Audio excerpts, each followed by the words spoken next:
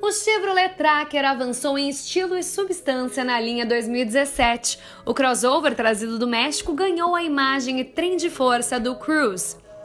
A Chevrolet declara 9,4 segundos de 0 a 100, 2 segundos a menos que o antecessor.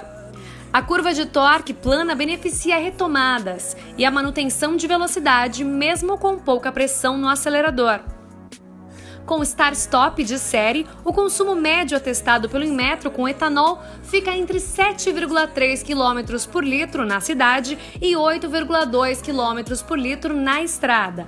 Médias que sobem para 10,6 km por litro urbanos e 11,7 km por litro rodoviários com uso de gasolina. Ainda que breves, as retomadas provam que o novo câmbio é mais esperto, porém conservador a caixa não deixa ir muito além dos 5.000 RPM, mesmo no modo manual, que continua a ser por botão na alavanca. É um recurso de joystick de videogame que não estimula muito a participação do motorista. Por outro lado, algumas evoluções ficaram claras, mesmo ao rodar lentamente.